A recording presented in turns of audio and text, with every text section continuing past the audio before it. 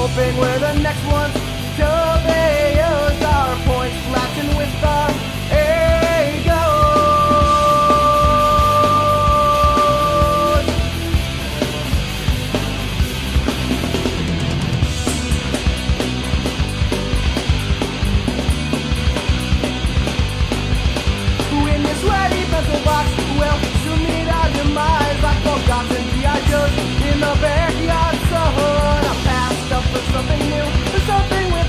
with